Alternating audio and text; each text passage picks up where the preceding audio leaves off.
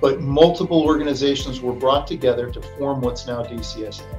What was an 800 man organization is now a 12,000 man organization, $800 million a year, $2.5 billion a year, 180 locations around the country. That's a big change.